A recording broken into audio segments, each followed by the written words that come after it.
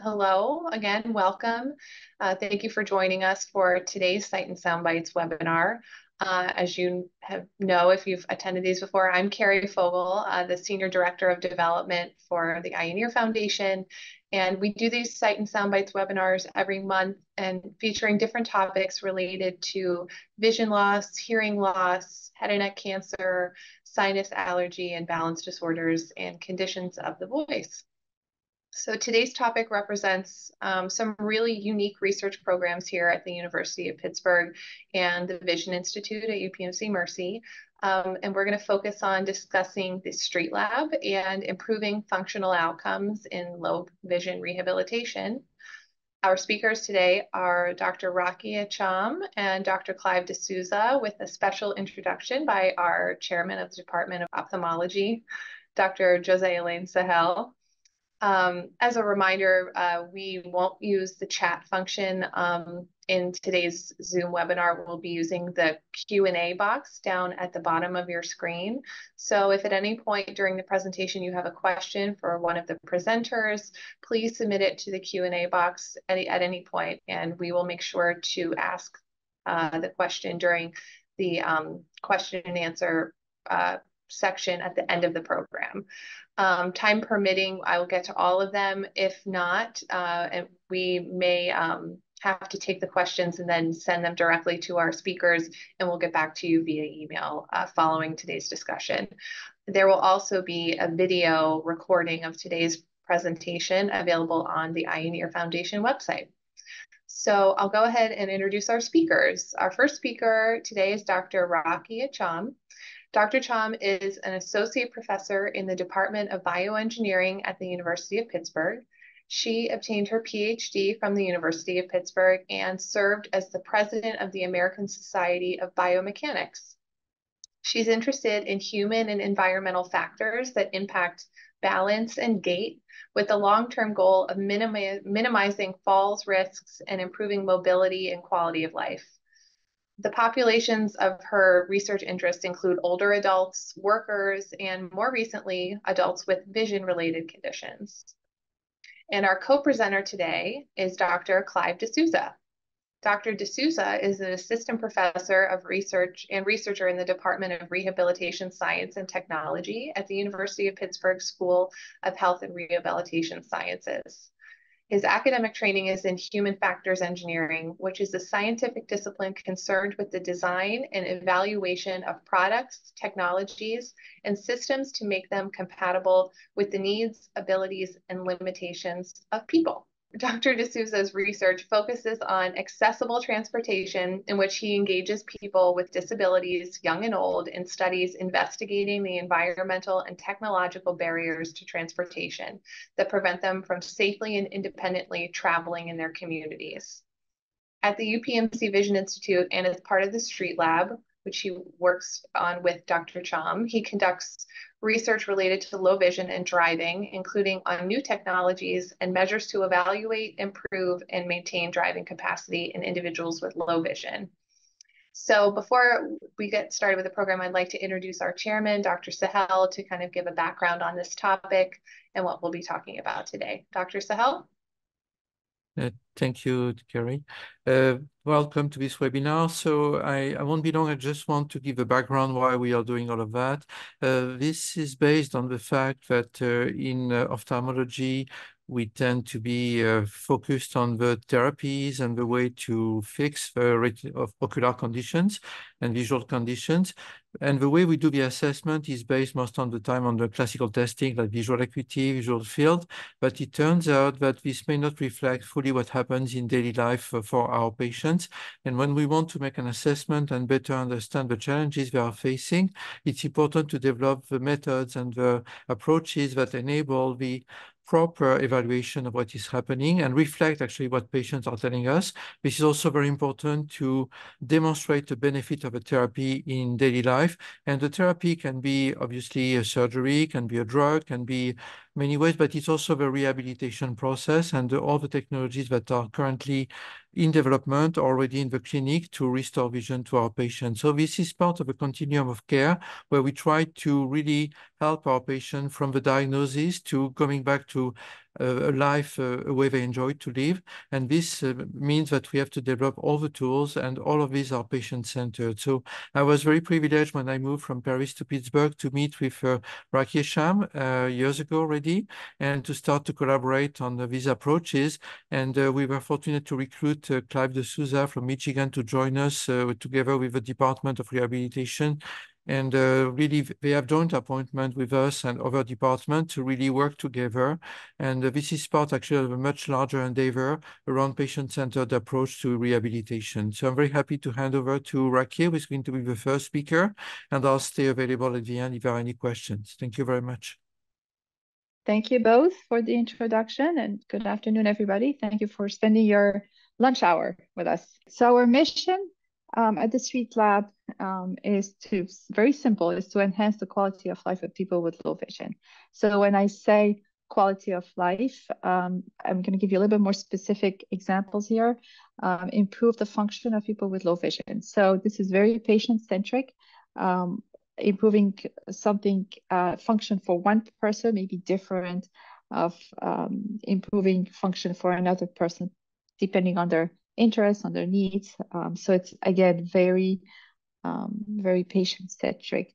We want to promote independence, uh, attempt to have them do things on their own as long as possible, whether it's at home, at work, in the community, and then uh, promote productivity in society. So as many of you know, people with low vision are not just are not represented well in the workforce, um, not just unemployed, but also when they do find work, they're often not in the right jobs, so underemployed as well. And we'll talk a little bit about that.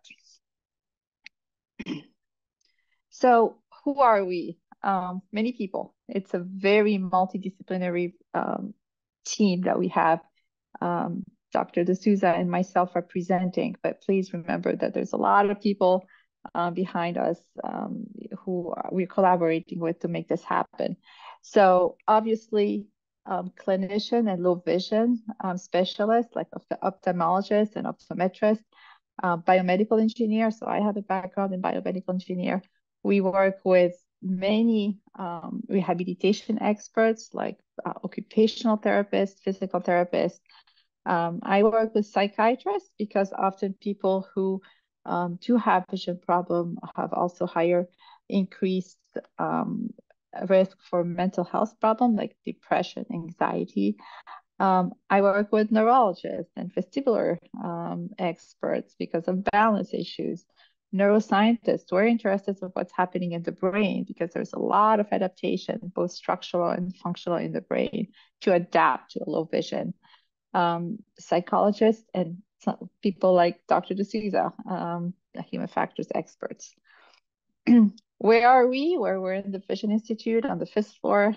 Um, it's a state-of-the-art building um, and state-of-the-art technology. So I hope you, if you ever have uh, interest in touring, just send us a note here. And what are we? Um, this will come become clear in the next few slides. So we talked about our vision. Now let's talk about our, our mission. And now I want to talk a little bit about our um, vision uh, for the research program. It's organized in three thrusts. We always start with the individual. Um, again, as I mentioned, it's very, um, what we do is very patient-centric. So we want to understand the needs, um, the individual perceptions of their impairment. So not so much their visual acuity as a number, but how do they perceive their impairment? So they may tell you, oh, I'm not able to knit as well, uh, or I'm not able to watch TV as well. So again, how do they perceive um, their, their impairment? And obviously in that first thrust, we also focus on the impaired, um, on the impairment um, assessed objectively, like the visual field loss, the visual field, uh, the visual acuity deficits. Um, and just remember that just because low vision is is happening, there is a lot of other things that may interact with it. So for example, uh, vision, loss of vision is a big deal uh, for balance and mobility. People with balance, with vision problems are an increased risk of falls and, and balance. And so again, we take this holistic approach of understanding um, the patient as, as a whole and what they need and what they want us to help them with.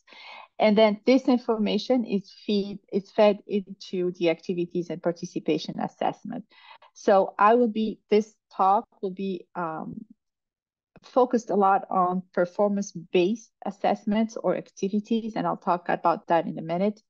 Um, so we have again um, assessments that um, evaluate how people are maintaining balance, how they're able to walk, going from point A to point B, how are they performing fine motor tasks, which are important again for daily activities like buttoning a shirt or being able to cook something in the kitchen um, or at work in manufacturing jobs. So th these are very objective-based assessments, based um, performance-based assessments.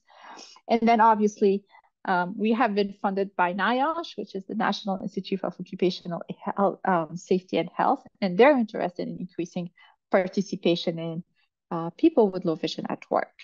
Um, so this is another, again, under activities and participation. And then as Dr. Sahel mentioned earlier, um, there's a lot of um, treatment, very exciting treatments for people with low vision um, but we are missing how to assess and how to evaluate um, those treatments, kind of where the engineering, my background in engineering comes in, uh, measurements and assessments. So we want to be able to come up with, develop ways of very precisely and objectively uh, be able to assess um, all those all those uh, new treatments. Um, and so we might follow people you know, along their disease, their natural, the natural progression of their disease, or look at the impact of whether it's a gene therapy, whether it's surgery, whether it's a therapy, um, or the or providing someone with an assistive technology. So these are the three three thrusts, research thrusts that we have in. And again, we're going to focus on um, activities here just for um, time constraints. And just to make sure you don't sleep on me and you're awake, I'm going to do this in um, in, in uh, not in order here. So I'm going to talk first of all about some of the assessment that we're using for um, to evaluate fine motor task, and then we'll talk about mobility, balance, and then finally, Dr. D'Souza will take it and talk about um, driving and uh, transportation. All right, let's talk about fine motor task for a second. Just need to make sure I'm on time here. So why fine motor task? And I kind of talked about this a little bit already, right? The, the relevance of this is, first of all, in tasks that you do at home. We, I gave you the example of buttoning a shirt, of writing, of um, being able to cook and use the stove, uh, but also at work. So a lot of manufacturing jobs rely on vision and um, one of the problems of um, employers is that they do not understand what people with low vision are able to do. So NIOSH has funded us to come up with metrics that basically provide this information. So based on someone visual acuity or visual field loss, what are they able to do at job at, on the job? And this information can be used to put people in the right jobs. Um, and so this is where, again, the human factors comes in, right? If you can't fix vision, maybe you can fix the work environment or the task that people are doing to be able to be more productive. Um, so I just want to give you an example of a few examples of tasks that we do in the lab. Um, so in this is called the Purdue task. It's a very well established task. Um, and what people are doing, what this lady is doing um, is the task involves basically putting pegs into holes. And um, the metrics that we come up with are things like how many how many pegs was she able to put in the holes, or how challenging was it for her. And so she's wearing an assistive technology so we are um, able to track um, her performance with and without the assistive technology. Again, looking at the effectiveness, the effectiveness of the assistive technology. And um, we are on the right-hand side. let me just get this video going here. Um, on the right-hand side, um, this is another perspective. We're looking at and tracking where she's looking. So that red dot that you see, um, you can see that she looks at, on a, at a location and then her hands go to it. This is another person, it's not the same subject, but again, same example, same, um, the point is that we're able to track not only her hand movements, but also where she's looking. So the concept of eye-hand coordination um, becomes very, very important in these tasks. So you're coordinating your vision, where you're looking, and um, how you're moving your hands. Okay, another example that I want to show you.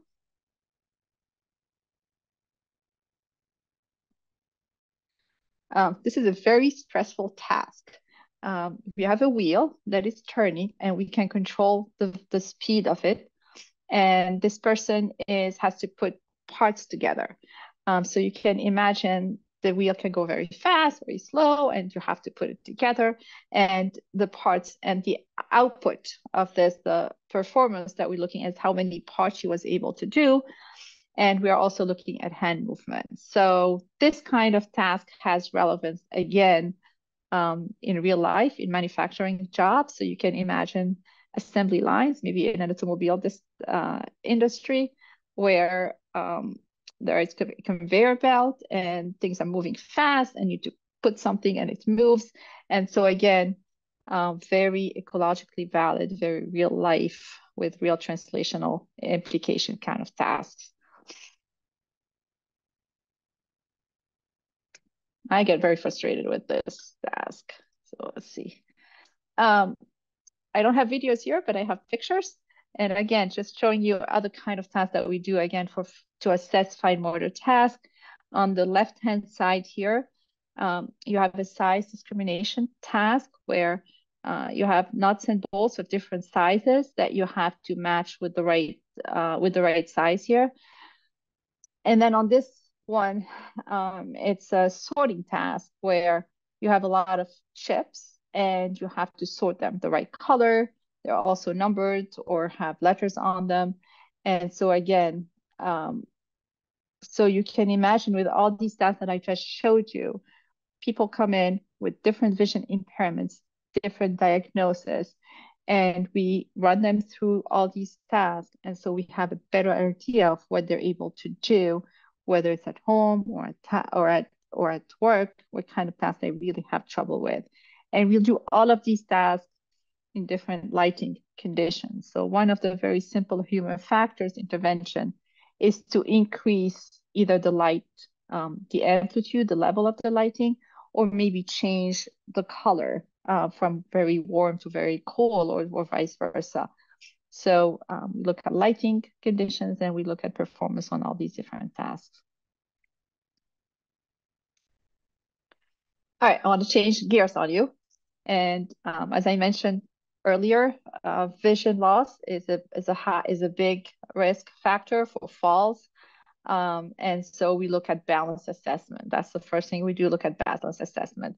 So uh, just to put everybody on the same on the same page, to maintain balance, we use three sensory channels. We use the vestibular sen uh, sense uh, channel inside the ear.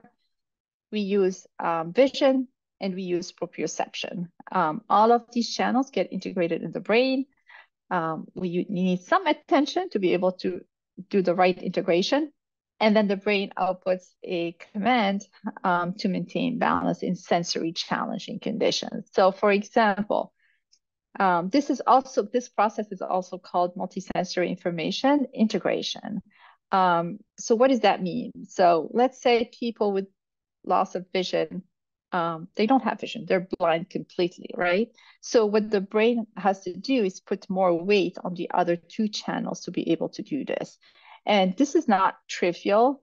Um, it's it takes some attention and cognitive resources to do this, um, and so what we do and the way we assess it. And I'm, this is the only uh, data plot that I'm going to show you, but it's a, it's a cool plot, so I couldn't resist. So this is, let me just turn off the volume here. Um, so in this kind of um, apparatus instrumentation. People are standing on a floor that can be moving, so we mess up their their sensory, their somatosensory information, their proprioception, and then we can make the visual scene move. And um, what we look at is how well they're maintaining balance. So on the axis, um, on this plot here on the right-hand side, you can think of the y-axis being being balanced performance with here being very, very poor balance, here good balance. And then this was done in glaucoma. So we have some data in glaucoma. And um, those are controlled on the zero side. And then the more negative here, the more um, visual field loss, loss they have in their better eye. So what this plot shows us is that if the floor is not moving, what you can see is that their vision loss doesn't really matter um, on balance. Balance is not impacted by their it's a flat line. Those are the open circles. And what this is telling me is that people with glaucoma are able um, to rely on somatosensory and other channels when they, they don't have, you know, they don't have vision. However, when you start moving the floor now, so their somatosensory is gone or is, is, is unreliable, and plus they don't have vision, people with low vision have a hard time um, relying maybe on their vestibular system. So again, it's it's what this kind of plot of data shows us is that we go and now talk to a physical therapist, who a therapist who is an expert in balance therapy, and we tell them here's what's happening, right? And so she can work, he or she can work with the patient to make their balance better, to train them to use other other sensory channels to maintain balance. So again, very translational, very translational research.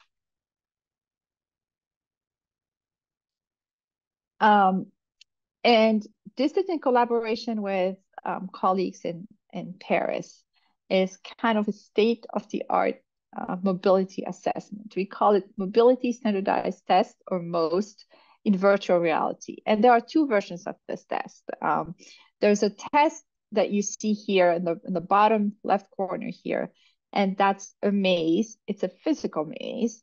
And then they reproduce the, the colleagues in, in Paris, our colleagues in Paris, um, they reproduce that maze in virtual reality with, with goggles. And you can see maybe this person walking with a, with a goggle. And so um, it's a very well established now. It has been validated physical against um, the VR versions um, in people with glaucoma and other other population as well.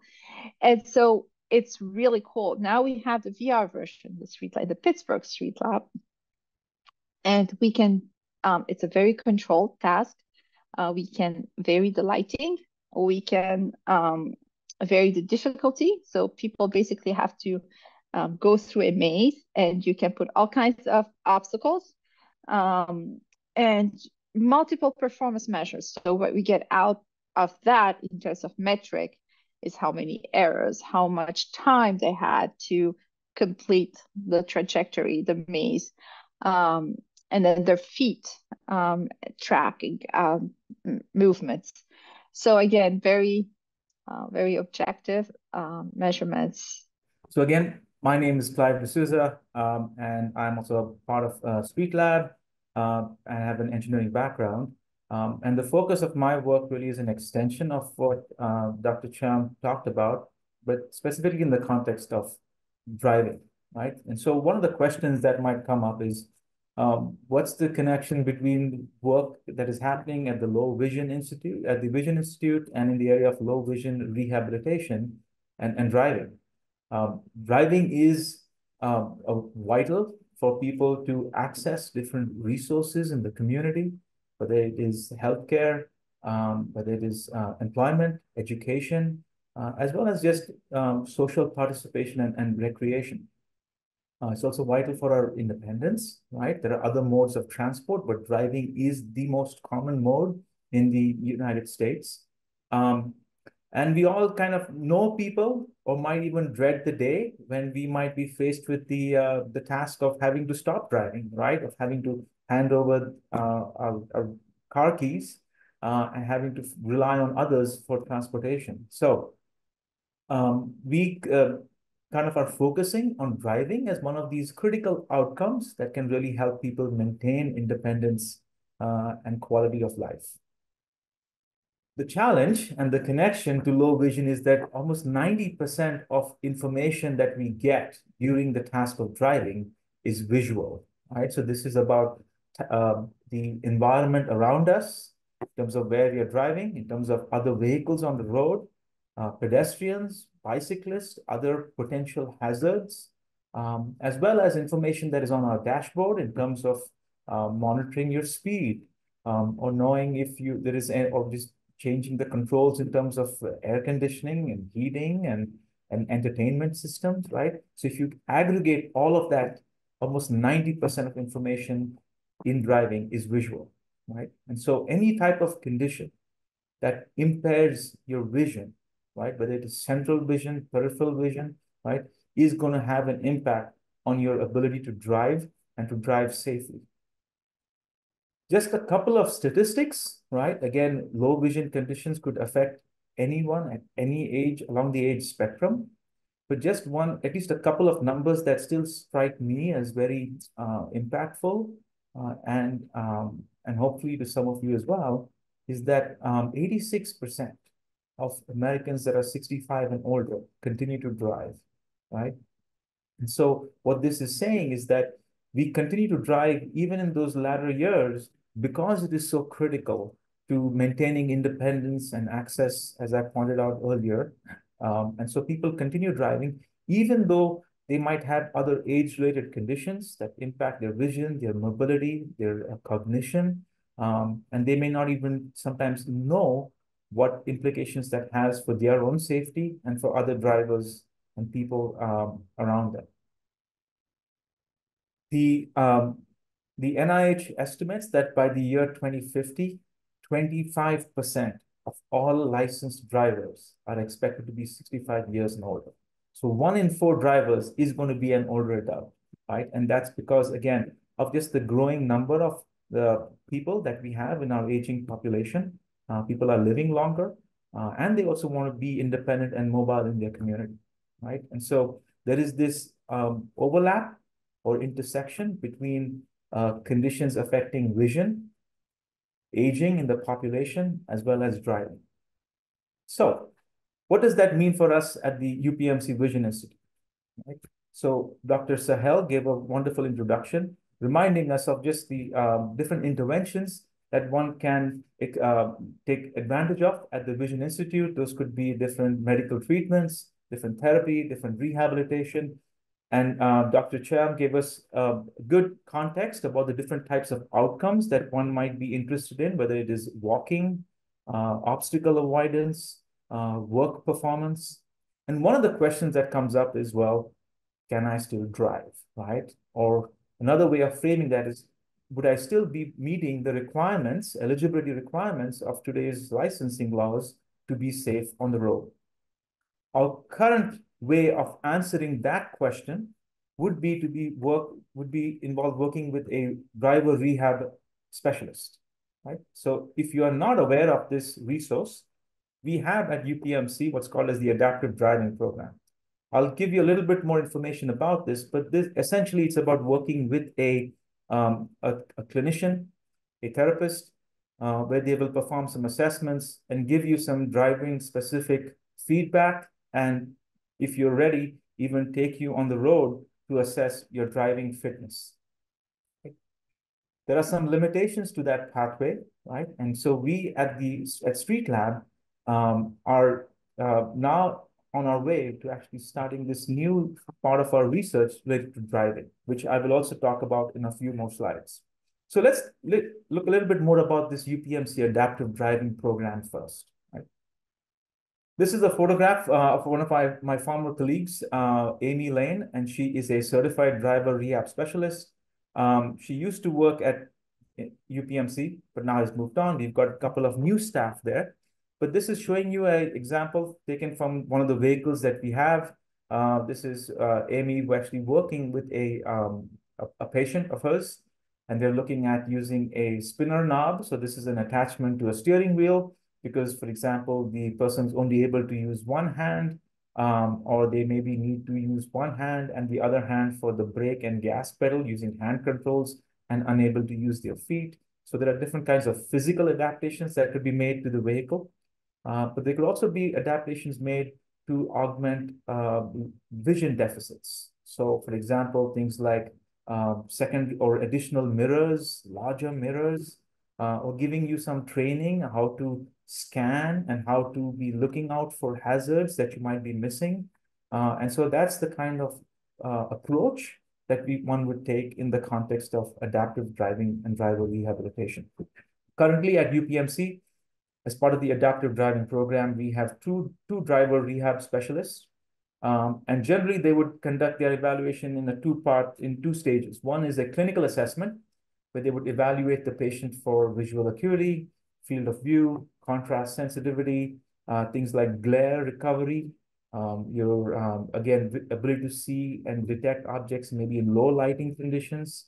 Um, and then if one would pass that clinical assessment, only then would they be considered eligible and safe enough to be taken on the road for what's called as an on-road assessment. We have two vehicles as part of this program. One is a, a Volvo sedan, and the second, a newer vehicle, is a Hyundai SUV. Um, and between these two vehicles, presuming one of them is a good fit, um, and they're also wheelchair accessible, so now one can um, be deemed safe enough to be taken on the road, uh, and then an assessment would occur. Right? There are a couple of challenges with this current pathway. One is that it is very resource intensive.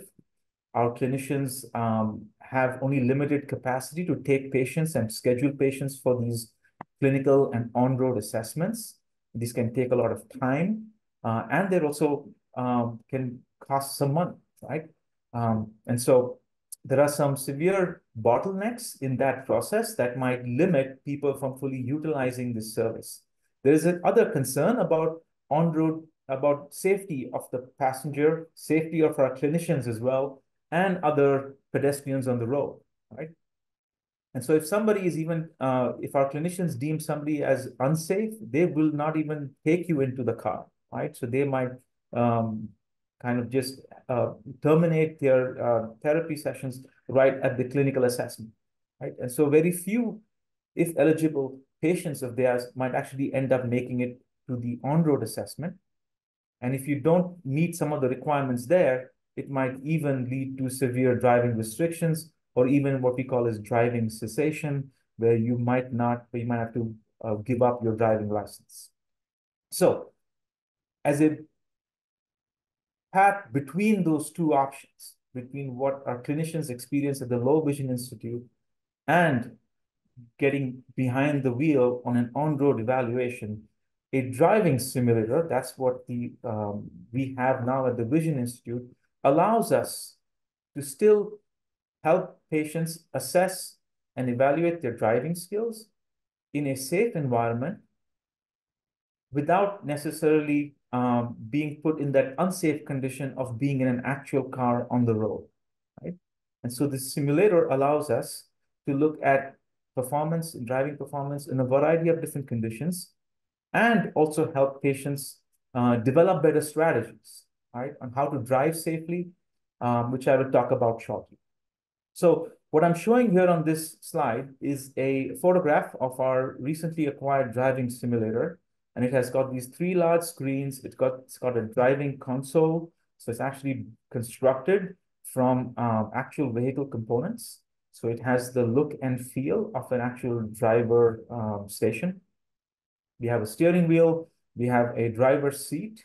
Uh, the, this whole platform, in a sense, vibrates and moves to road conditions. So if you're driving on a smooth road versus on a gravel path, uh, it will kind of uh, vibrate and move differently versus if you're accelerating or slowing down and braking or taking a turn, there'll be a little bit of a tilt and movement to this platform. So it kind of captures that physical movement of as if you're in a real car.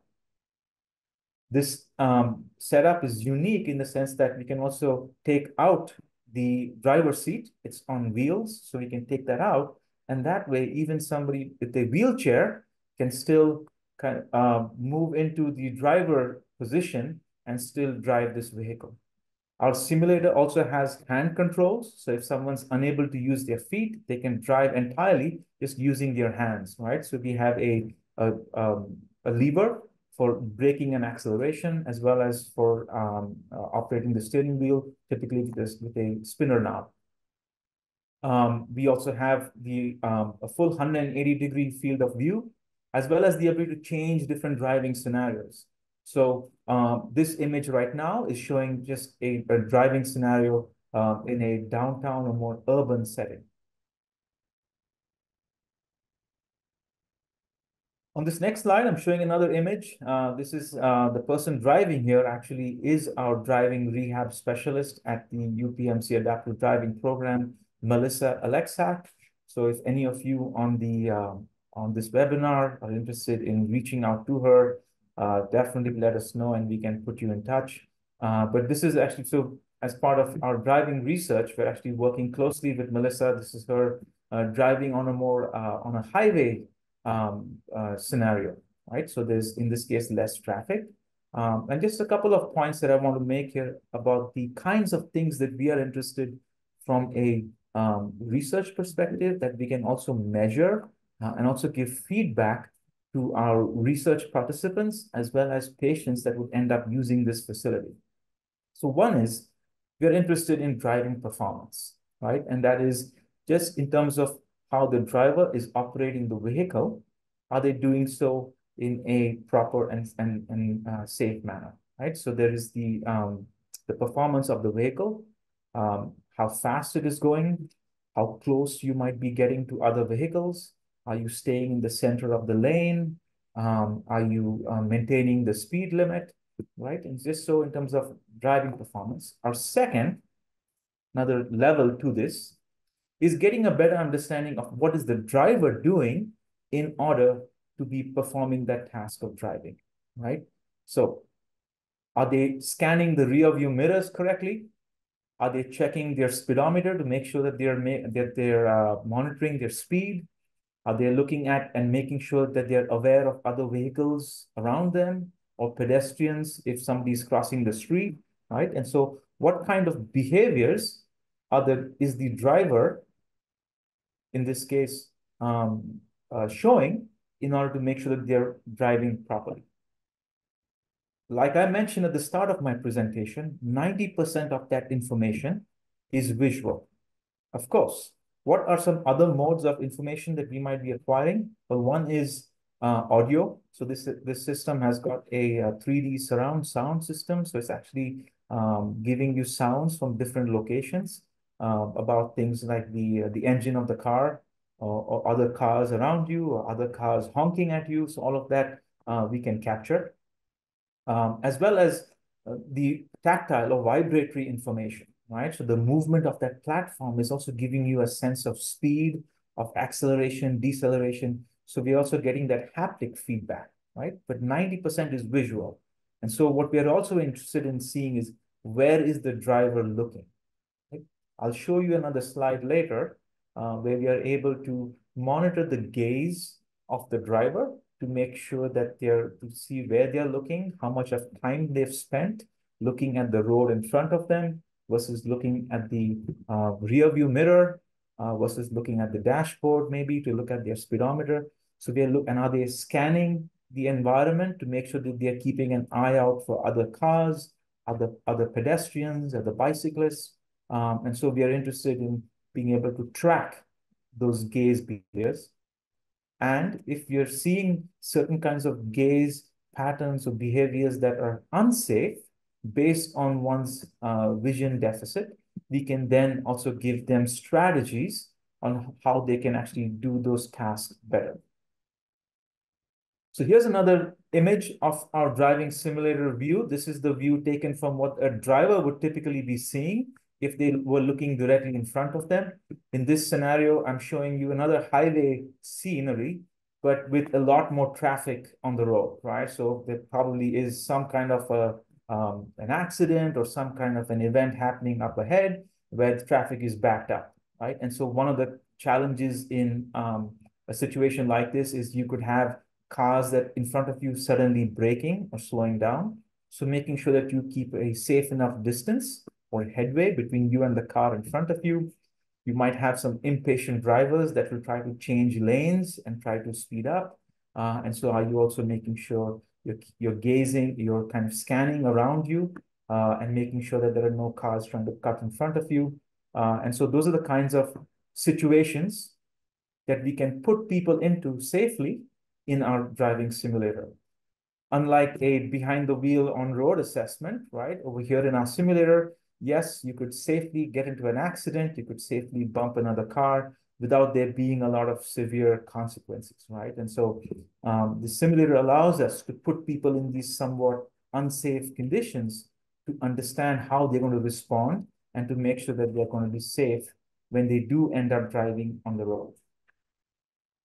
One of the big questions when talking about driving um, is what's going to be the uh, effect of driving automation. Um, and we hear a lot about driverless cars. Uh, we hear a lot about uh, technologies in the car, like um, um forward collision warning, blind spot warning systems, adaptive cruise control.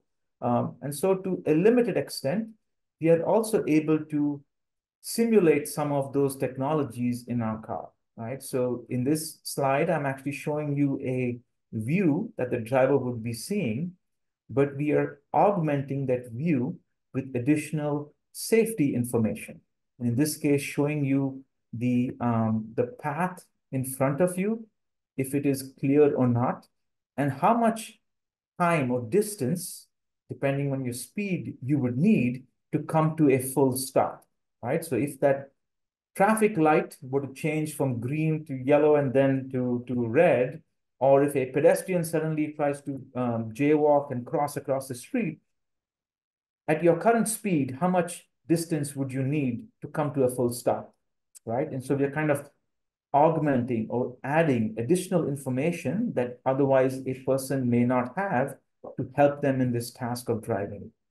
So in the simulator, we can now also start understanding the effects of these new technologies along with a vision impairment or deficit someone might have to understand what is the benefit in terms of their driving performance and safety. Right?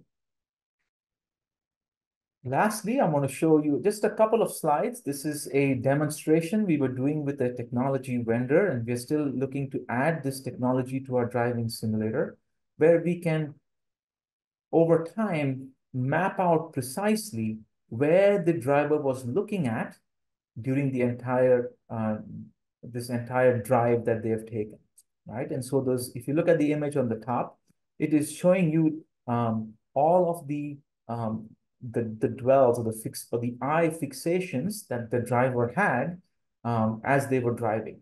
And clearly, you can see here, right? They were doing a good job.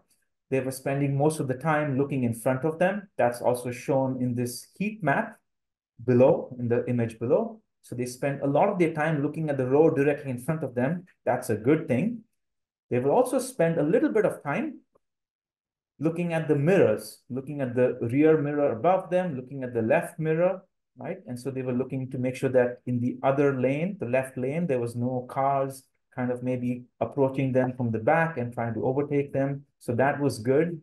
Uh, and they were also scanning the road to the side of them to make sure that there were no hazards or threats, right? So this is the kind of feedback we can get from our simulator to understand if somebody's actually using the correct and safe uh, visual gaze patterns, if they're making sure they're spending enough time looking at the rear view mirror, looking at the speedometer uh, below, looking at the road in front of them.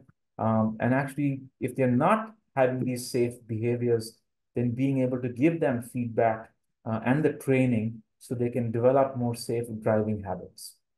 So that's just a quick snapshot of the type of research and the type of um, uh, research questions, as well as type of um, interventions we can provide in the context of driving to support people and patients at UPMC with this important task. That's all I have, and I will turn it back to, to Carrie. Thank you so much, uh, Dr. Cham and Dr. D'Souza for that really interesting um, topic. We don't get to talk a lot about, we talk about research, uh, basic science clinical research a lot, but it's really nice to see some of the more um, translational studies that you're working on too that you're involving human subjects in. Um, so one of the questions or a couple of the questions that we have are related to um, are related to the people that you're working with. So are you targeting a certain age group when you're composing these, you know, these trials and these simulations with the driving simulator? Um, and then also you did mention how some people could um, contact your your groups to to enroll if they if they uh, if they match. But do you focus on an age group and what are you looking for when you choose subjects for these trials? So it really depends on what the research question is, right? If we're looking at age-related vision problems, then we look at older older adults. But if we're looking at a diagnosis and um, it affects a, an spectrum of age, then we look at all the spectrum. Um, so it really depends on what the age spectrum. And then for the work-related stuff that we do, for the work-related research is working uh, population. So again, it, people who are able to work. So the studies are advertised. Um, we would love, it's the recruitment is always a challenge. So we would love to have more participations. Um, so yeah. Clive? Yes, and so my answer is uh, very similar to to Rakié. I think she covered it very well. Um, we it really uh, it depends on the research question, uh, but some of our uh, studies are can be broad in terms of an age spectrum, but some can be very specific. Uh, and I'll just uh, maybe give you another couple of examples of the kinds of things we might be looking at down the road, right? So one is we're interested in low vision and, and vision impairment in the context of driving. But when you start then adding aspects of cognition, right? So whether it is uh, any age-related dementias, for example, right? And how that might help with uh, or contribute to safe driving, uh, navigation, uh, uh, being able to read and understand where you are in, in kind of in, in space, in the world, in terms of driving and, and understanding the road directions, right? So there's a cognitive part to this as well. Um, and so then we might be looking at also some older drivers. We've been getting some queries from our um, driving rehab specialist. She's been seeing a lot of patients that uh, are younger 16, 17, 18 year olds that might have um, autism, right? And they're curious and their family parents are curious if uh, if they'd be able to be ever be able to drive independently, right? And so there might be some other age groups, for example, younger, that we might also be considering down the road uh, in terms of the driving simulator research. So one is I think it goes beyond just low vision, and it might also involve like other conditions like cognition, um, physical impairments, right? So people that might working with our colleagues in the rehab institute, looking at patients that might have lower leg amputations and that use a prosthesis, right? So, um, so we've been getting queries from all over, but at least for now, right? Some of our, most of our um, populations are, are quite broad. Um, and, and what we're looking for are people to really participate because these can be very time intensive studies. Okay, thank you. Do uh, do you either or both of you work with um, different agencies um, in the realm of your research to um, evaluate uh, employment opportunities and and fitness for work um, and the agencies? Some of them off, you know, BBS OVR, um, employment agencies? Do you work with other organizations in, in your in your research to to figure out the abilities of of their constituents? So I, I can maybe take an attempt at that, Rakié, if you're fine with that. Um, so yes, um, I think one thing I would like to just remind everyone is that a lot of our driving research is just getting started. So we've only acquired the simulator like last year, uh, but we have reached out, at least I have reached out to different organizations. I know I've had a couple of meetings with, with, with the uh, Blind and Vision Rehab Services of Pittsburgh um, and, and talking about how we might collaborate with them. um, as well as, like I said, the UPMC adaptive driving program. Um, the challenge always comes up about reimbursements and, and, and financial kind of uh, uh, support. Um, and so some of that, we're an ongoing conversation, but yes, we are definitely interested in working with, with community partners, um, both in terms of making sure that people in the community are aware of the type of resources we have at the UPMC Vision Institute, um, as well as making sure that we can um, people can avail of these services in terms of um, preparing themselves for employment uh, or for a driving license, or whether it is even just um, being um, or aging kind of successfully and healthily in their in their homes. I'll I'll just add that um, I am I'm also visited the BVRS several times. I'm very impressed with um, the road signs that their patients are building. Um, so again, I think employment is very important for them. Um, but we're also funded, for me at least, I'm funded by NIOSH, which is a federal agency interested in um, improving um, the work conditions and work participations in people with low vision. So we're working on it.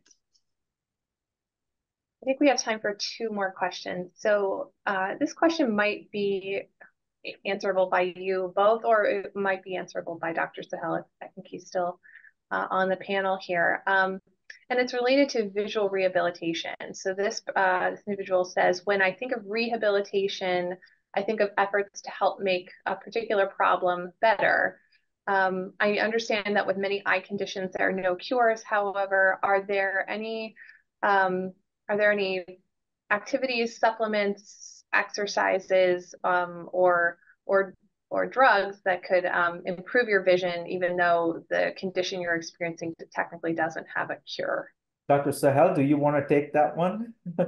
Yeah, it's a, it's a very broad question. Uh, I think uh, there's no real drug, uh, uh except if you have a treatment for the eye condition or vision condition. In that case, this is uh, not really the field of rehabilitation, although as we discussed, there is a synergy between the therapy and the rehabilitation process.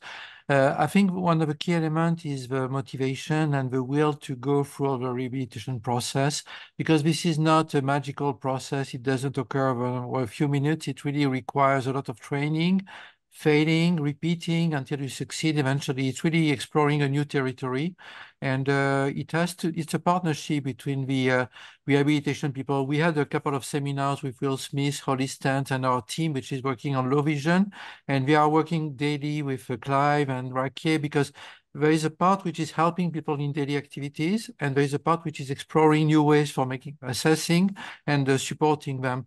But the patient is uh, really the main main actor. They are still the ones who are really making the decision and they have to be highly motivated. So I think one of the reasons things can fail is when people don't have the wherewithal or really the will to continue. And it's not for, I'm not blaming on anyone. I just say it's difficult. You have to know that and you have to admit that you have to go through a process. Thank you. Um, I have there's one other question that was asked, um, and I'm going to try to apply it to both Dr. Cham and Dr. D'Souza before we uh, have to conclude this afternoon. So um, this person asked if any professional driving industries are interested in getting their drivers evaluated with um, a simulator. And then I'd also like to extend that to Dr. Cham. Do you work with um, companies of products, or you said you work with um, slips, trips, and falls? Do you work with other devices or shoes? Or do you work with other, you know, organizations and companies that are interested in having their products or their drivers evaluated? So the answer is yes. the answer is yes. We work actually with um, drug companies that are developing new drugs for low vision, and we evaluate the impact of their treatment on mobility um, and navigation through a maze, for example. So we've done those. Those are the clinical trials. Uh, but if we extend beyond vision, um, we have colleagues as well in my lab that um, look at the impact of shoes um, and the impact of a flooring environment. Um, and so, yes, we we do work with companies very closely. Um, so we get funding from both companies and federal agencies. Thank you. My response is short, not at the moment, but we would be very interested in working if, if there are companies that employ a lot of people that have uh, that involve that involves driving as a big component. I think just given the resources we have between us at the Vision Institute and the Adaptive Driving Program, we'd be happy to work with companies and support their employees. Um, so if anyone on the call or the person that has posted the question has suggestions for us or connections uh, that they would recommend, please let us know, uh, and we'd be glad to follow up. Well, thank you so much for for taking the time to uh, educate us today about the really neat work that you're doing. Um, I know there are a few questions we didn't have the chance to answer live. We will make sure that those questions are asked to our speakers and we will get the answers to you via email following today's program. Um, thank you, Dr. D'Souza, Dr. Sahel, Dr. Cham. Really great program today. We look forward to hearing more about this, you know, in future webinars. So thank you again, and everybody enjoy your your uh, afternoon.